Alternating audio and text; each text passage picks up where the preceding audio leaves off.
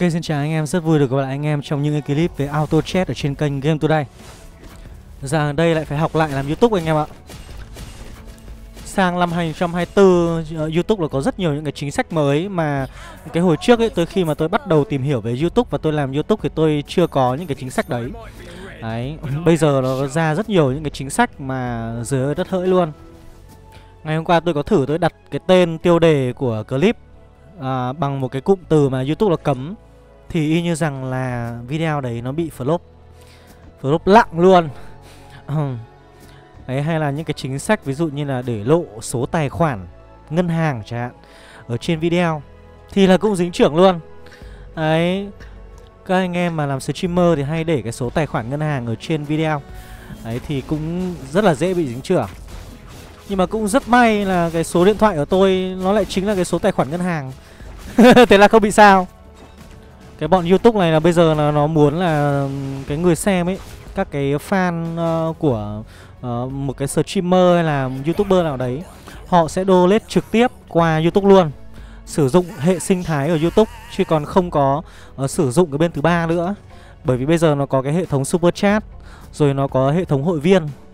Đấy thì mấy cái đấy là youtube nó khuyến khích là, là sử dụng chứ còn nó không muốn là mọi người donate qua những cái hình thức khác nữa. Thế nhưng mà cái bọn này nó ăn hơi dày Tôi nói thật. Nếu mà donate qua hệ thống super chat ấy là YouTube à, trừ 30% Quá dã man đúng không anh em? Ví dụ như là donate 100k thì là mất 30k rồi. Quá nhiều luôn. Nhưng mà thế đâu đã hết đâu. Sau khi là trừ cái 30% đấy ấy, Thì uh, tính tiền YouTube hàng tháng nó lại trừ thêm cái thuế ở Mỹ. Rồi thì uh, phí chuyển khoản về Việt Nam rồi xong rồi là đến Việt Nam thì trừ đi tiền thuế ở Việt Nam. Rất nhiều cái khoản trừ Cuối cùng chả còn được bao nhiêu. Thế là thực sự nếu mà anh em có donate cho tôi Thì tôi vẫn thích Là anh em donate thẳng qua Momo hoặc là tài khoản ngân hàng hơn, Đỡ bị trừ. Đấy, không mất cái gì cả. Thế là thích nhất.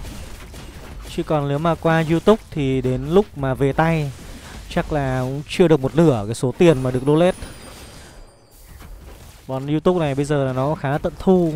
Thế là tôi cũng phải đọc lại chính sách học lại để giảm những cái chi phí mà không đâu. Rời ơi đất hơi đấy đi. Như cái clip ngày hôm qua ấy, đặt tên phát sai phát là flop. Đấy clip đấy là coi như là trả được bao nhiêu tiền. Rồi thì cái vụ đổi tên ấy tôi nói thật với anh em là cái hồi mà tôi bắt đầu làm ấy không có chuyện là đổi tên xong là flop kênh đâu. Nhưng bây giờ thì nó thế đấy anh em ạ. Bây giờ thì nó flop cũng như kênh mới luôn. Xong rồi phải xây dựng khoảng hơn một năm thì mới bắt đầu lại trở về cũ được. Tôi xin kể cho anh em một câu chuyện là như này. Dạo gần đây thì tôi cũng đang uh, tìm một vài những cái bài hát để tôi uh, sử dụng làm cái tư liệu cho cái album nhạc tiếp theo của tôi. Đấy. Thì một trong những cái người ca sĩ mà tôi chọn uh, với những cái bài hát mà rất là cảm xúc Đấy là Hương Tràm. Tôi thì cũng rất thích nghe nhạc hương tràm và cái nhạc đấy uh, nó cũng khá là phù hợp với cái phong cách âm nhạc của tôi.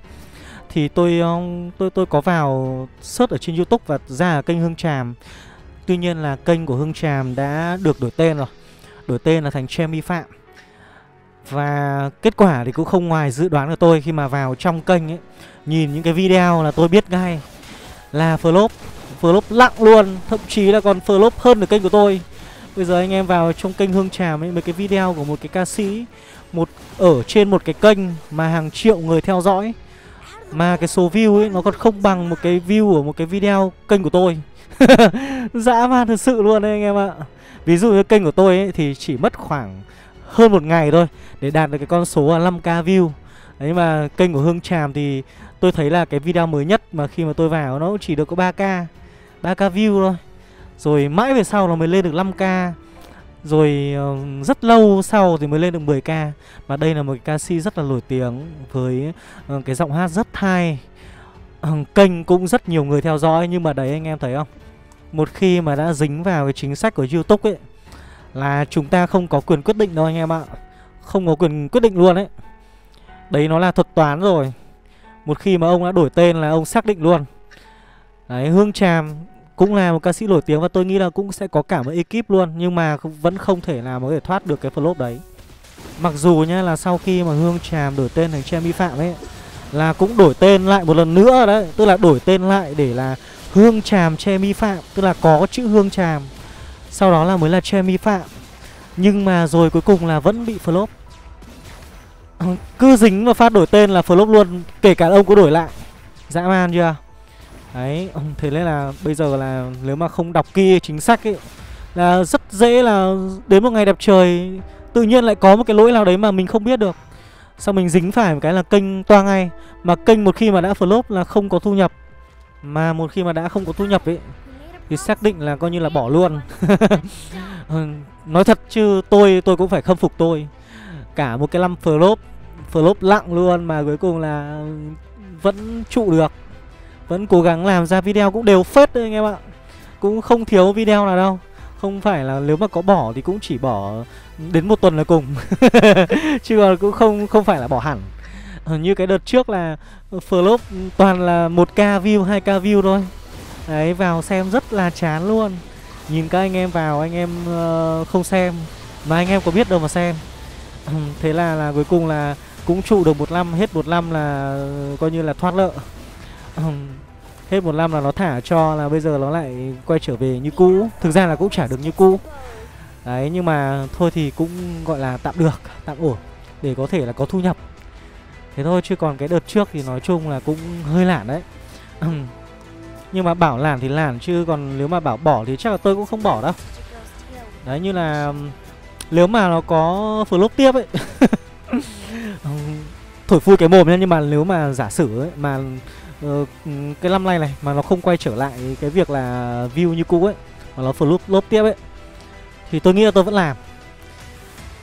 Anh em ạ anh em nói anh em không tin nhưng mà nói thật đây là nó cũng là một cái đam mê. Và uh, tôi cũng nói với anh em rồi là chắc là tôi chỉ nghỉ cái trò này ấy. khi mà cái trò này nó không còn ai chơi nữa đấy ờ, game nhà phát hành người ta phá sản đấy, thì tôi nghỉ anh em nhá. Nghỉ là nghỉ luôn nó không làm game luôn. Đấy chứ còn cũng chả phải là là là vì là uh, uh, mình kiếm tiền bằng cái việc là làm youtube về cái uh, cái cái lĩnh vực là game. Đấy mà mình khi mà con game này nó flop là mình chuyển game thì cũng không hẳn là như thế. Đấy căn bản là mình chơi cái trò này là vì vì mình đam mê thôi. Còn anh em cũng đã biết rồi. Tôi mà nếu mà tôi chuyển hướng đấy thì tôi cũng chuyển hướng sang âm nhạc luôn.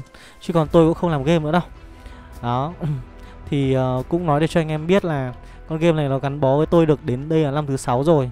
Đấy và tôi nói thật với anh em là tôi rất là thích chơi cái game này. Và khi mà làm nội dung về con game này này Thì ngoài nó là một cái nguồn thu nhập của tôi Thì nó cũng là cái nguồn giải trí của tôi luôn. Đấy, giải trí sau những cái giờ làm việc căng thẳng và mệt mỏi. Đây là một cái tựa game Nó giống như là cái việc là à, các cụ ngày xưa ấy Thì hay uh, buổi chiều hay ngồi đánh cờ với nhau ấy Thì cái trò này nó cũng thế buổi chiều khi mà thư thái thời gian đấy thì tôi làm một vài ván cho nó giải trí. Và tôi um, chắc là cái cái cái lớp của tôi ấy, thì um, cũng ít đánh cờ tướng hơn. Đấy ít đánh cờ vua cờ tướng. Giải trí thì chơi bằng cái con cờ này thì thực sự là nó nghe chừng là nó hấp dẫn hơn nó hay hơn là chơi một cái ván cờ tướng. cùng là cái thời gian khoảng một tiếng. Đấy nhưng mà rõ ràng là chơi cái con game này thấy hấp dẫn hơn đúng không anh em? Thế là tôi nghĩ là đây là nếu mà sau này cái con game này nó có sống được khoảng chục năm nữa ấy, thì chắc chắn là tôi vẫn chơi. Tôi vẫn chơi thôi. Ừ, coi như là nó giống như là các cụ ấy. Ừ, giống như các cụ. Đấy chúng ta có một cái ờ, bộ môn cờ giải trí vào cái buổi chiều còn không hẳn là vì là thời gian phải dành cho con cái nhiều hay là uh, uh, bận công việc mà không chơi được game thì thực ra thì cũng không phải. Việc làm thì cũng phải có lúc nghỉ đấy. Chăm con thì cũng phải có lúc giải trí. Kể cả là mình có như là dạy nó học các thứ thì mình cũng, cũng có cần cái thời gian giải trí mà đúng không? Không ai làm việc mãi và cũng không ai thích làm việc nói luôn. Cái công việc không ai thích làm. Ví dụ như tôi ấy, tôi mà uh, làm video mà để để để up lên youtube ấy tức là tôi làm việc ấy thì tôi rất chán. Đấy mặc dù vẫn là chơi game vẫn là chơi cờ đấy nhưng mà không thích anh em ạ. Mình chỉ thích là mình bật lên rồi mình chơi thoải mái theo cái cách của mình thôi. Mình chơi thua cũng được thắng cũng được. Mình chơi thoải mái giải trí. Đấy đi làm về mệt bật game lên chơi giải trí đỡ căng thẳng.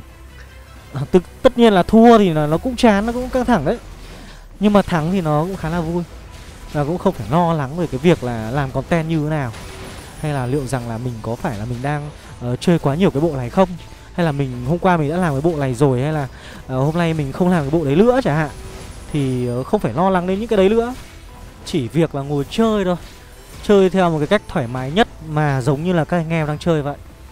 Thoải mái nhất có thể anh em biết là tôi chơi game tôi khác anh em ở chỗ nào không? Khác anh em nhiều thứ nhưng mà cái thứ mà tôi không làm được ấy, thì đó chính là buổi chiều buổi tối về uh, làm với vợ chẳng hạn. Hay là làm một mình thì cũng rất là ok nhá. Đấy bật youtube lên xem xem auto chat. Xem auto chat ví dụ quen xem xe quen. Uh, xem uh, anh em chơi khuya xem xong rồi thấy anh các anh em chơi uh, mấy cái bộ này hay quá. Rồi mình làm theo. Đấy làm theo thôi. Vào trong game làm một vài game. Test thử đội hình phát xem là có ok không. Uh, ok thì spam cũng được. Rất là ok luôn. Đấy thì cái điều đấy tôi không làm được. Cái thứ mà tôi xem được ấy tôi lấy ví dụ nhá. Tôi cũng xem dây quen tôi cũng xem xem chơi khuya. Nhưng mà tôi xem theo một cái cái cái kiểu khác. Tôi vào tôi xem à, hôm nay chơi khuya chơi um, uh, chơi Clyde à? Thế thì mình không không không hôm nay mình sẽ không không không lên làm cái bộ Clyde à u chết rồi. Tôi chết vậy hôm qua vừa mới làm cái bộ God Clyde rồi đồ cho rơi xong. Thì ờ, hôm nay lên thấy stream ờ, uh, Gia quen spam với bộ đấy ác quá. Thôi chắc là thôi cái clip này bỏ. Không làm nữa. Làm clip khác vậy. Trùng content thế này chết. Thế là anh em biết rồi đấy. Cái kiểu xem của tôi là như thế đấy anh em ạ. Quá dã man luôn. Thế là vừa cái việc là xem xong rồi lại quay sang làm clip là nó cũng phải lé luôn. Làm youtube mà cứ như là làm 9 phe giờ vậy. Làm content 9 phe giờ. Ờ, lé liên tục. Gladiator à? Chuối cao nhỉ? Chuối cộng 9 rồi đấy. Đội hình này thì chưa ăn được. Bây giờ ờ, 5 rồng thì mới may ra mới ăn được. 5 rồng Thunder 2 sao. Thế nên là có cái lỗi khổ cái người làm content. Chơi không ra chơi mà ờ, Làm cũng không ra làm. Vừa làm vừa chơi Vừa chơi vừa làm. Nó cứ kiểu nó bị lẫn lộn với nhau ấy. Mà sợ nhất là cái việc là vừa mới làm xong cái video clip thì lên thấy ờ, anh em chơi khuya đăng đúng cái đội hình mình đang chuẩn bị up. Thế là coi như là vội vội vàng vàng làm một cái clip thay thế. Còn cái clip uh, thôi trùng bộ thì uh, đợi ghim mấy ngày sau up lên vậy. chứ còn tôi biết là nếu mà trong một ngày ấy mà uh, anh em đang ờ, xem ví dụ một cái kênh mà up trước ấy up một cái line up này rồi sau đó là cái một cái kênh up sau ấy up cùng một cái line up đấy thì anh em tua nhanh lắm anh em xem anh em vừa xem vừa tua. Đấy tôi biết mà. Tôi là người uh, lắm ở cái số liệu ở trên kênh của tôi là rất là rõ. Nên tôi biết cái điều đấy. Ui thôi chết rồi. Rau này có toang quái không nhở? Ơ tôi vẫn rau này toang quái này ui thật luôn ạ. Hỏng rồi. Đội hình yếu quá. Quái không ăn được thì lấy đâu ra mà, mà cắt được chuối ở đằng kia. Khó. Này còn không có đồ chứ. Rồng mập lên được hai sao. Chịu rồi, đồ này thì chịu rồi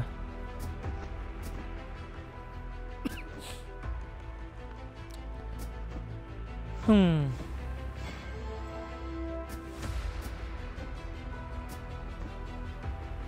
Khó nhỉ?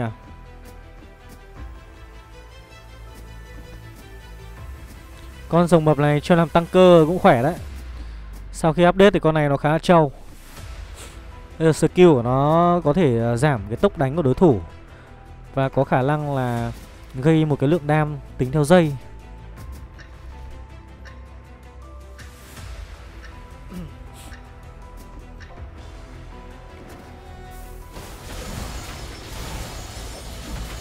Ui, lắm Gladiator đấy nhở Chuyện này nhiều Gladiator quá nhở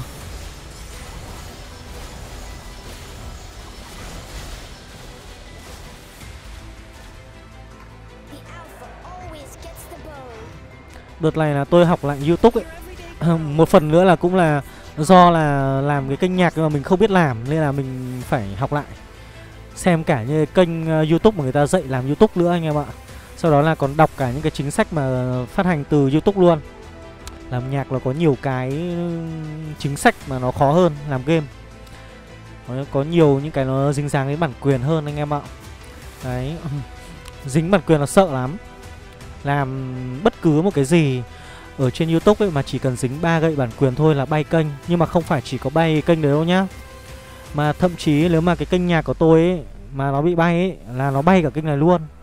Đấy.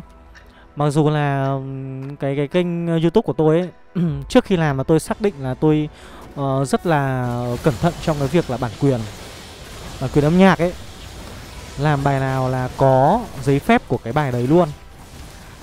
Chính vì thế nên nhạc nó ra chậm là vì thế Bởi vì phải xin Đấy, phải xin bản quyền, cấp phép bản quyền Thì mới dám cover những cái Đối với những cái bài cover.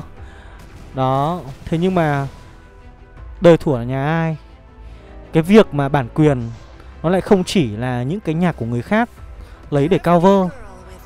Đấy, mà Chính bản thân tôi Cái nhạc của tôi, Do chính tôi sáng tác, Cũng dính bản quyền luôn. Đời thủa nhà ai lại như thế? Ờ, thế nó mới ảo ma Canada anh em ạ. Bởi vì là cái cái đơn vị mà mà kiểm soát bản quyền ấy, Nó lại không phải là Youtube. Nó không phải là Youtube, anh em ạ.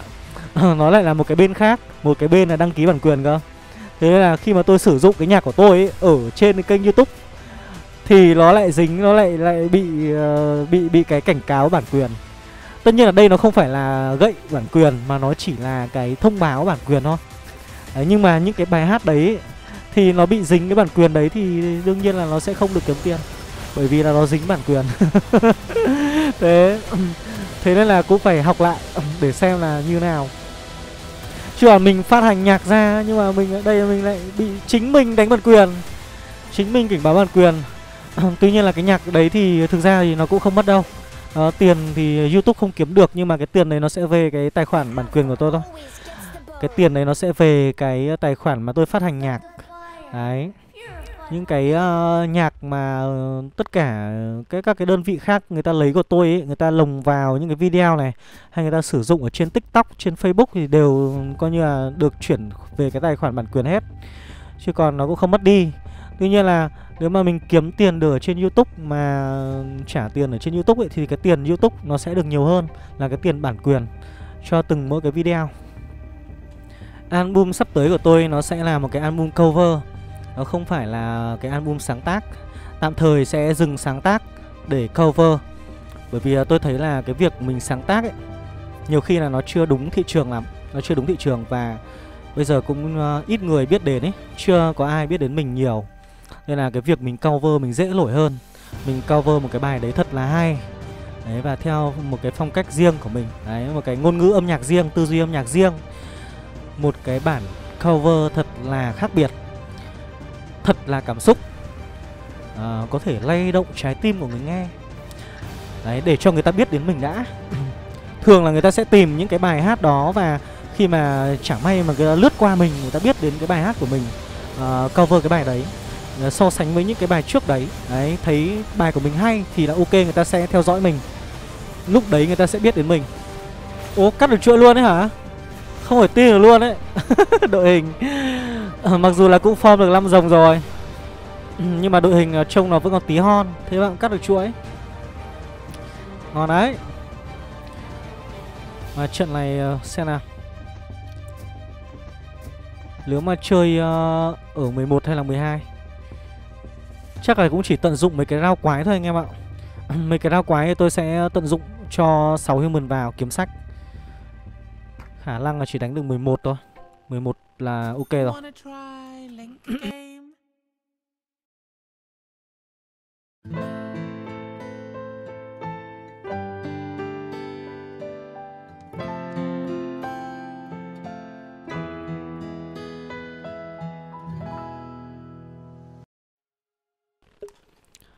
Xin chia sẻ với các anh em yêu nhạc một chút là cái album sắp tới của tôi nó sẽ làm cái album cover chứ nó không phải là một cái album sáng tác.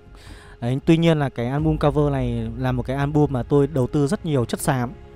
Đầu tư rất nhiều công sức luôn Và cả tiền bạc nữa Đấy Như anh em cũng đã biết là trước đấy có một cái album cover Nó cũng đã rất thành công ở trên Spotify Và được lọt vào trong top 25 Những cái bài hát hay nhất ở Việt Nam Những cái bài hát thịnh hành được nhiều người nghe nhất ở Việt Nam Thì uh, đó chính là cái album mà cover lại Ờ, uh, soundtrack của tựa game Black Myth Wukong đấy Thì sau cái album đấy Thì rất may là nó đã thành công Và đem lại cho tôi một cái nguồn lợi nhuận. Thì uh, toàn bộ cái lợi nhuận doanh thu mà thu được từ cái cái cái album Black Myth Wukong Tôi dành hết toàn bộ số tiền đấy để đầu tư vào cái dự án âm nhạc cover tiếp theo này. Đấy. Số tiền đấy là để làm gì? Để mua bản quyền của bài hát Để sử dụng Để có thể khai thác Cover lại Và kiếm tiền ở trên những cái bản cover đấy. Thì đây coi như là nó sẽ làm cái khoản đầu tư. Đấy, Và chưa biết lời lãi thế nào cả Nhưng mà đã mất tiền rồi. Đấy chính vì thế nên là Không hay không được. Đấy, Phải cố mà hay Phải cố mà làm cho nó hay. Thật là hay, thật là cảm xúc. Ngay cả cái khâu chọn bài ở trong cái album đấy Nó cũng đã phải rất là cẩn thận và cân nhắc. Tôi chỉ có đủ tiền để mua khoảng 15 đến 20 bài thôi. Chính vì thế nên là phải hết sức là cân nhắc Sử dụng cái bài gì cho nó hợp lý. Liệu rằng với cái bài đấy mình có thể làm hay được không? Mình có thể làm hay hơn người khác Được không? Đấy.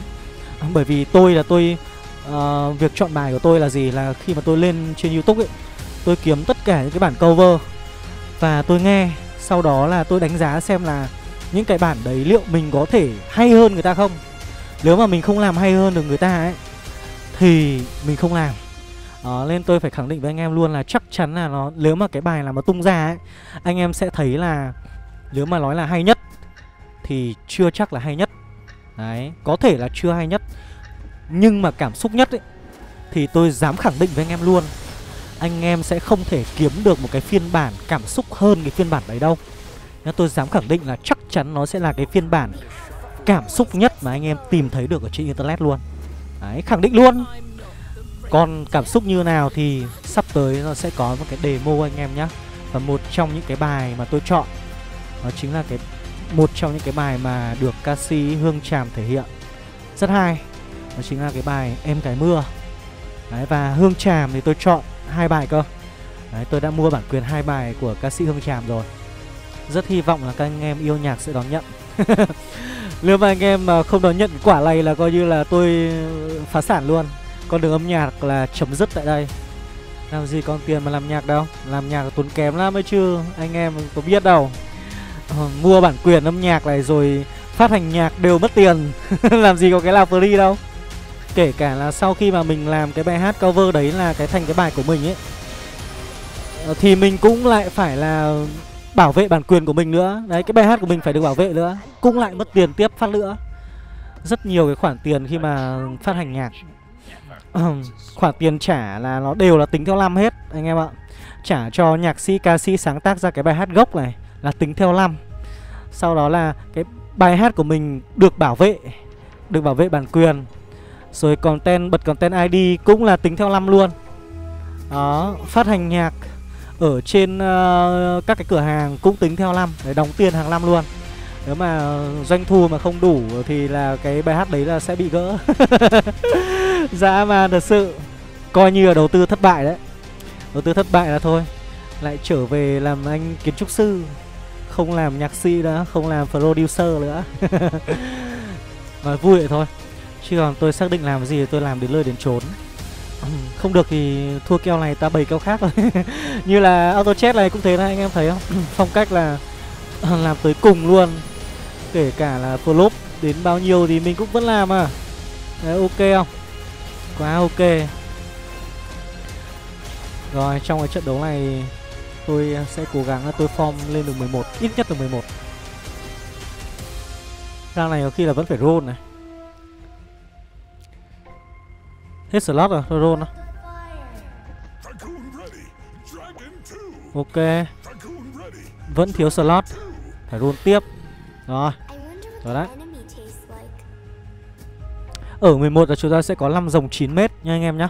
Và nếu mà lên được level 12 ấy Thì sẽ là 5 dòng 9m cộng với cả à, uh, 4 gót và cộng thêm với cả 4 đá nữa. Trận này thì nói chung là cứ đến rao quái thì chúng ta vứt vào 6 human thôi Rao quái là 6 human vào.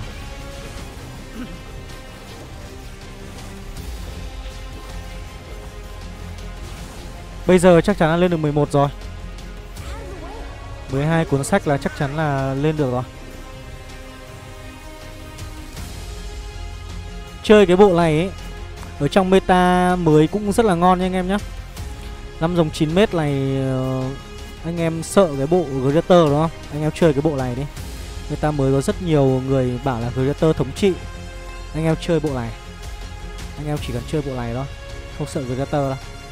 Cái bộ Greater nó chỉ đáng sợ Với cái bộ này này Khi mà nó có cái um, cầu vực thảm thôi. Đấy, bây giờ cái món đồ xanh dương ấy nó rất là khó rèn. Để mà lấy được cái cầu vực thẳm ở phát đầu tiên và phát thứ hai ấy, Thì nó cũng khá là may mắn, nó mới ra được. Mà nếu mà có có cái cầu vực thẳm ấy, Thì cái bộ Greater nó lại thiếu những cái món đồ khác. Những cái món đồ chấn phái của Greater nó vẫn phải ưu tiên lấy trước Để mà đánh với những cái bộ khác. Thế nên là nếu mà anh em gặp Greater mà anh em muốn counter, Anh em có thể chơi cái bộ 5 dòng 9m cũng được nhá. Bởi vì cái bọn đấy nó không kẹp được cá. Gần như là kháng phép là trừ toàn bộ kháng phép rồi. Vào phát tung trưởng bùm phát là bay màu hết. Có cầu vực thẳm thì hơi sợ một chút Hơi sợ một chút. Cầu vực thẳm thì uh, có thể chuyển sang Witcher. Lên game chuyển sang Witcher chơi. Dồn đồ cho rồng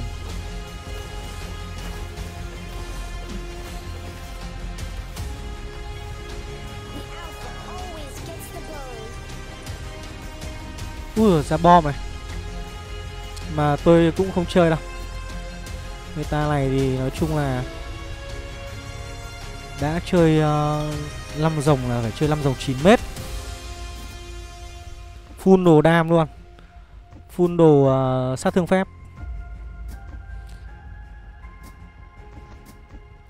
Bây giờ ấy cái ờ, cái cái cái trượng uh, hiến tế nó cộng tới tận 200% sát thương anh em ạ. Quá kinh khủng luôn đấy một cái món đồ xanh dương mà nó y như một cái món đồ tím. Có khi là nó còn ngang tầm một cái món đồ cam luôn đấy 200% Kinh khủng thật sự. Hãy tưởng tượng thế này, Anh em cầm cái trượng hiến tế với 20 tầng hiến tế, Thì là anh em được cộng 200% sát thương phép. Và 200% sát thương phép đấy, Nó sẽ bằng là gì? Nó sẽ bằng là một cái gậy hách đồ cam một cái món đồ cam cộng một cái gậy xanh xanh cuối cũng là một cái món đồ cam cộng thêm với cái trượng giật xét món đồ tím và cộng thêm cái nhẫn xanh. Cái nhẫn xanh lá ấy thì vẫn chưa bằng. Quá dã man luôn anh em ạ. Chưa test thử để xem là có thể nào mà uh, thổi bay được 6 cá không? Nha.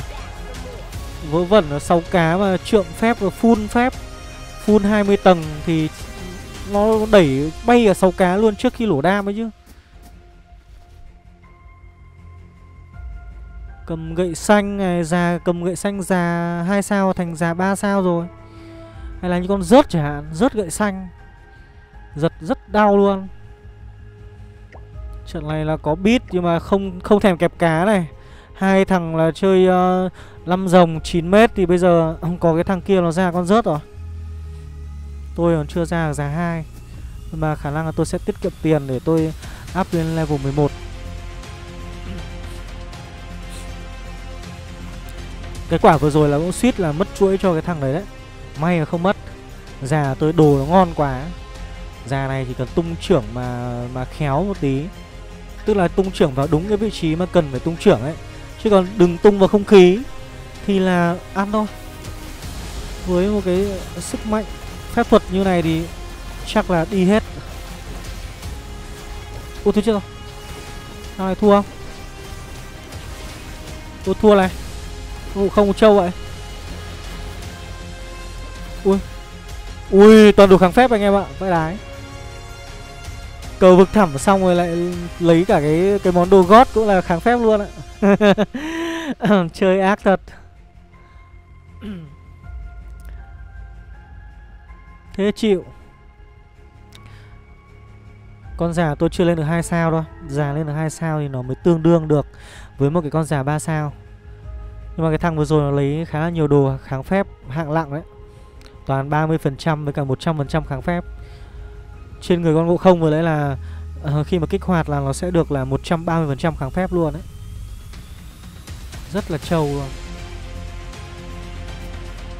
Nhưng mà không sợ, cái thằng này nó lấy cái đồ kháng phép nhiều ấy, Nó sẽ bị mấy cái thằng Greater đấm thôi. Bây giờ cái thằng Greater lại là cái thằng rất sợ tôi nhá. Greater gặp tôi là mất nhiều máu lắm này.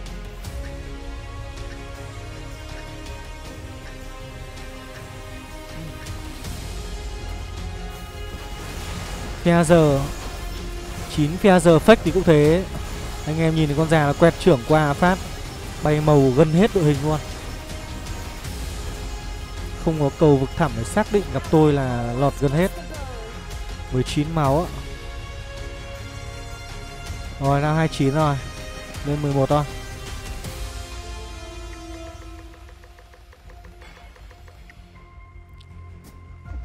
Lên được 12 thì lên mà không lên được thì thôi.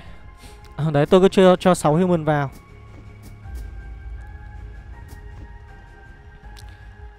6 human. Kunka tăng cơ phía trên.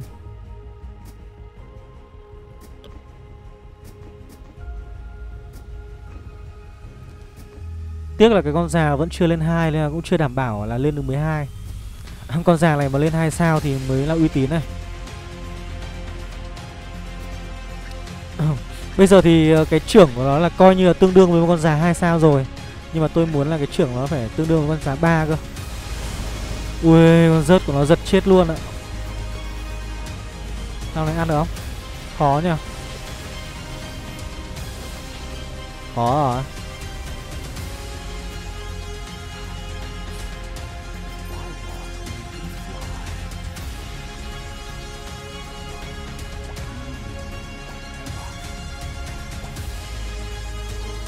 Cũng già con già luôn ạ.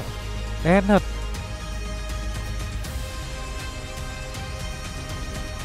Chuyện này cả già cả Thunder không lên được hai sao chứ. Mặc dù cho tôi cả cặp lâu lắm rồi. Quá đen luôn đấy. Cái cái trận này thì bài đen nhưng mà đồ lại ra rất ngon. Đồ ra không thể ngon hơn được ấy. Nào này mà ra được cái trượng phép Cái đũa phép nữa thì thôi Chả còn cái đồ gì nữa. Búa xét à quên ờ, không phải. À, cái xích hoặc là cái uh, uh, gậy bão bây giờ là bỏ rồi đúng không? Không có gậy bão nó sẽ là cái đũa xét hoặc là cái uh, xích. Ro. Ba món thôi bây giờ thì cái uh, gậy bão bỏ rồi. Một trong những cái món đồ rất ngon của bộ mết nó bỏ đi rồi.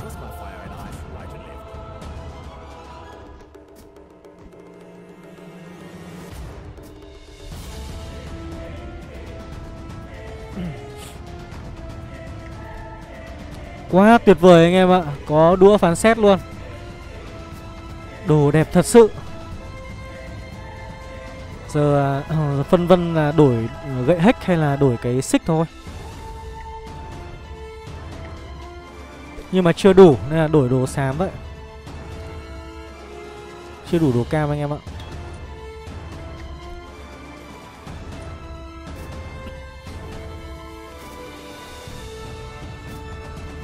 Ok. Đổi đồ cam ờ, uh, sau Khi mà chúng ta đủ rồi chúng ta đổi. Đồ cam thì lấy được cái gậy hết với cái bất diệt thôi. Bộ này chỉ thế thôi.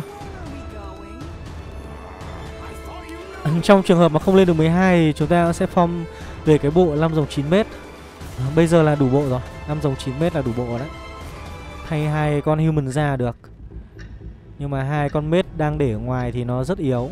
Mới một sao thôi đây rồi. Anh em nhìn này. Trời ơi, anh em thấy chưa? Greater của chúng tôi. Rồi, Round này mà ăn được nữa là chúng ta lên được 12 này. Creator mà không có cái ờ, cầu là gặp cái bộ này là như gặp bố luôn mà. Anh em ạ Creator mà không có cầu vực thảm phải xác định luôn riêng mà gặp với mết là Greater bắt buộc nó phải hy sinh một cái món đồ nó lấy cái cầu cầu vực thẳm đấy, và nếu mà lấy cầu vực thẳm thì nó sẽ bị những cái bộ khác bắt lạt chơi Greater thường là nó sẽ đổi rất là nhiều đồ cam. Cái bộ này thực ra là nó chỉ cần một đồ cam thôi. Lấy được cái gậy xanh là ngon rồi. Sau này chúng ta thể đổi đồ tím cũng được, không cần đồ cam đâu lấy thêm cái xích.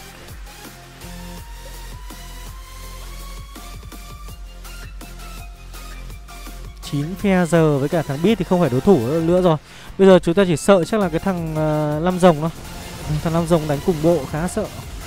Anh em nhìn kìa con già gần như là quẹt phát là chết hết rồi. Chín phe giờ thì cũng nói chung là cũng chết rồi. Đi rồi. Rồi đồng thời tôi sẽ lên được 12 quá tuyệt vời.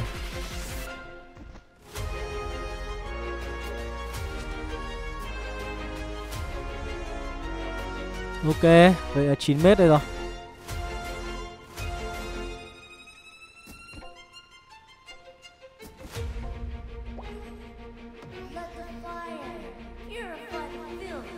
Ra ở chúa quỷ rồi này Thích cái chơi lăm rồng uh, Witcher. Thích cái chơi. Uh, Linh hồn ánh sáng luôn à. Quá tuyệt vời.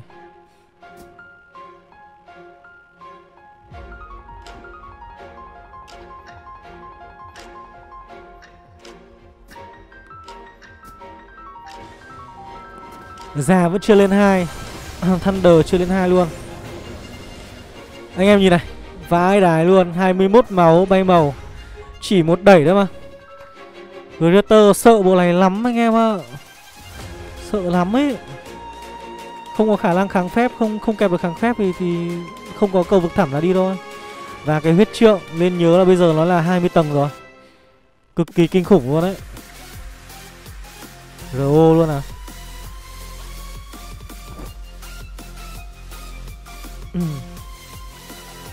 Lấy cái đồ không nhỉ? Giờ còn cái xích là không không lấy được thôi. Già bây giờ mới lên hai ạ. Già lên hai thì cũng là lúc mà cái trận đấu kết thúc. Ảo ma canada. Con già lên hai sao cũng là lúc mà trận đấu kết thúc rồi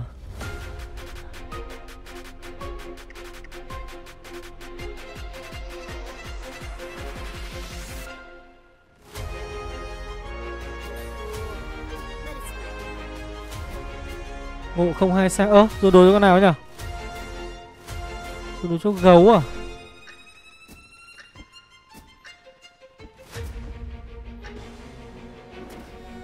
Ờ, À Nó có con gấu assassin anh em ạ. Gấu assassin có tăng hình. Vãi ba đồ kháng phép ạ. Ơ nhưng mà sao bạn ơi? Ba đồ kháng phép thì làm gì? Rồi sao? Ui giời đi luôn. Chắc chắn là như thế rồi. Nó lấy hẳn ba cái áo mưa luôn anh em ạ. Cái cầu vực thẳm Cái áo mưa rồi cái ờ, cái, cái um, dấu ấn thần thánh luôn. Kháng phép là cực nhiều Nhưng mà làm gì có đam đâu. Không có đam mà kết liễu. Rồi anh em thấy hay để lại tôi một like nhá. Anh em chưa đăng ký hãy đăng ký kênh để xem thêm các clip khác của tôi. Và nếu có thời gian anh em có thể chọn clip bên trái để xem sự kết hợp giữa Live light và cái áo long bào. Kèm thêm đấy là cái bộ Metalit nó mạnh cỡ như nào anh em nhé và anh em cũng có thể chọn clip bên phải để xem một cái trận đấu vô cùng kịch tính luôn. Một máu lật kèo anh em ạ. Và cuối cùng, nếu anh em yêu quý tôi, anh em có thể đăng ký hội viên ở trên kênh để ủng hộ cho tôi bằng cách ấn vào link ở trên màn hình kết thúc cũng như là link ở dưới phần mô tả của mỗi video. Cảm ơn anh em rất nhiều và hẹn gặp lại anh em vào những clip tiếp theo. Bye bye!